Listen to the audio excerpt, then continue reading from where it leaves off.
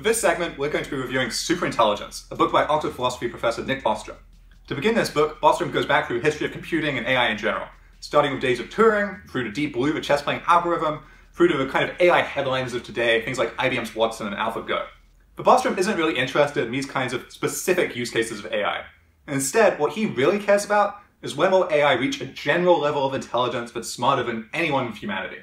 Bostrom's kind of predictions of what could happen when we reach this phase been very influential to people like Elon Musk. Absolutely. Before we get into the doom and gloom scenarios, we should lay out the framework that Nick Bostrom uses for superintelligence. So there are three types of superintelligence he thinks about. The first is brain emulation. This is a really cool concept where we take a brain, slice it into billions of pieces, and then map each of the neurons. This will effectively create a mechanical brain, and then we could have warehouses full of these mechanical brains that we would use in concert to create the superintelligence. The next type is using genetic engineering. So we would take existing human embryos and then very rapidly iterate over generations of humanity uh, in the time span it would take about one generation today. So effectively in this model, we've created a superintelligence out of existing humans. And then finally, he talks about the synthetic or the code-based AI. This is what most people think about when they think about an AI. And this is the superintelligence that Nick Bostrom sees to be the most likely. All these things come together to ask the central question, which is how do we handle the crossover point? And the crossover point is the point at which humanity will not be the smartest entity on planet Earth. We'll have this superintelligence out there. How can we control it? Adam. So Bostrom runs through a variety of kind of academic scenarios regarding the crossover point. He considers first, what if there's a slow transition, over a period of decades or even centuries, AI just slightly improves to where one day it's now super intelligent, smarter than humanity. But he also considers things like a fast transition, in a period of weeks or even days, promising AI project suddenly blooms into this dangerous superintelligence, dangerous in particular because we wouldn't have had much time to plan for it. Um, but Bostrom does talk about things we can do to kind of mitigate the effects of AI. He talks about boxing methods, stunting methods to try and uh, diminish the AI's power and make it safer for us.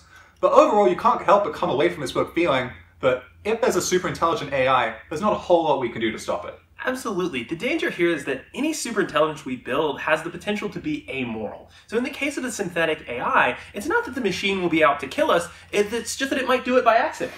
Um, in the case of this synthetic AI, it's going to have a single objective function. It's going to use its algorithms to maximize that. So we have to be very careful about how we think about questions that we're posing to the machine. So in a scenario that's walked through in the book, we ask the question, hey, how do we make more paperclips? Uh, superintelligence, please make us more paperclips.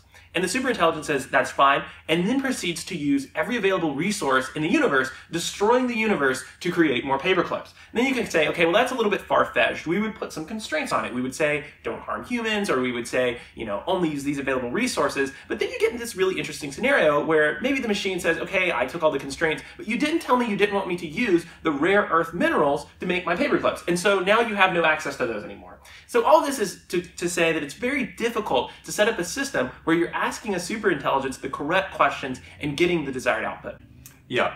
Um, but I think all these somewhat kind of dire projections really do beg the question, going back to a transition period, of how long is this going to take? Um, and at least in my view, I don't think this is happening anytime soon. Uh, there's a few reasons for this. The first is that, as we noted, all the AI applications that have been built so far are highly specific. It's things like AlphaGo that are playing a particular board game. You can't really plug them into some other you know, task or, or test and expect them to perform well. And there's a lot of human intervention still. There's a lot of just data cleaning, processing, tuning of algorithms.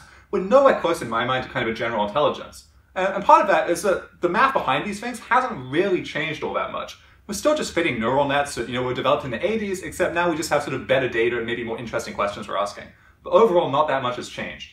And I'm worried that kind of the focus on you know, super intelligent AI and the impact it could have on humanity is going to distract us from things that really could end humanity. So these are things like a nuclear war, which doesn't necessarily have to be kind of an active strike by a participant, but it could come through an accident. You know, nuclear bombs have dropped out of planes before. Um, there have been a lot of near misses if you look at the history of the US's nuclear stockpile. You also have things like climate change, which could dramatically impact humanity. And for all of these reasons, I think there are pressing concerns for us that do not involve a superintelligent general AI.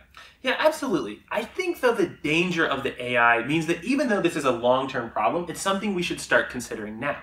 Uh, in the example of the fast launch, we may not have a lot of time to decide what we want to do, as one of these reinforcement learning machines goes from something that's rather benign to something that's very dangerous almost overnight.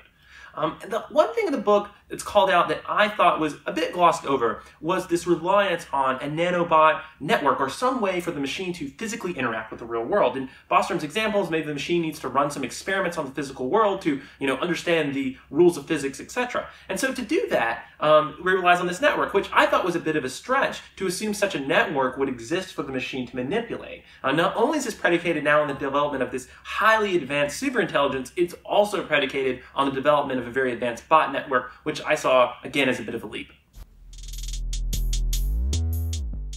So while I still think the general superintelligent AI is a long ways out, I will say this book made me at least take the possibility seriously. Bostrom is a philosophy professor, but this is not an abstract book. Instead, he takes a really concrete, quantitative look at some of the possible scenarios, um, and the level of his research is excellent. Bostrom also makes some very valid points when it comes to ethics in AI. He talks about how researchers need to be cognizant of the values they impart into any AI creation, as well as the controls on its use. For any AI researcher that's, say, working for a police state or a negative entity, they really need to be responsible for the possible negative uses of technology they develop. And I think these points hold for you know, a specific AI too. But having said that, Matt, I think the key question is, do you think a general superintelligent AI we created in the next 100 years or so? Absolutely. Humans will continue barreling ahead, developing these technologies, and as called out in the book, uh, people are incentivized to see these changes happen within their own lifetime. So while we maybe should perhaps show restraint and avoid some of these pitfalls, the reality is we'll continue going forward, and there's not much we can really do about it. Uh, the biggest hope is that we'll have more research done by people like Bostrom to call out different things we should avoid. But in the end, I think this is something that we're going to go towards, and we're going to very fast. Having said that, um, I would like to go ahead and preemptively welcome our new AI overlords. Um, we hope we can be of service. This has been Random Talkers. Thank you for watching.